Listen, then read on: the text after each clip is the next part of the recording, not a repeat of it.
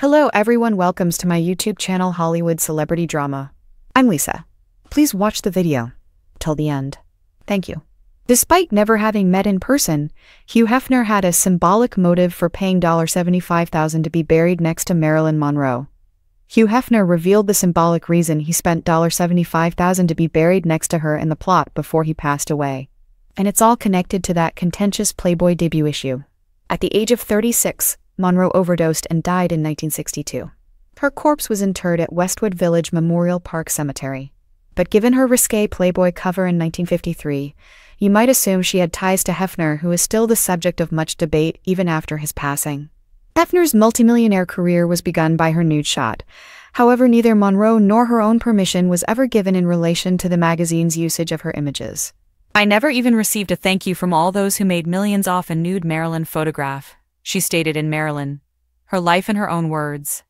Even though the Fox bosses were worried that my appearance in that nude calendar would destroy whatever films I appeared in and even end my cinematic career, I came clean and stated that I was the one who posed for it.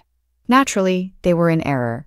When I acknowledged that it was me, the audience applauded, and my career benefited from the calendar and the Playboy first issue press. She would subsequently claim that when she signed the contract, she was paid a $50 modeling fee, and that this waived her ownership rights over the photos. Perhaps Hefner paid $75,000 for a tomb next to hers in honor of his creator.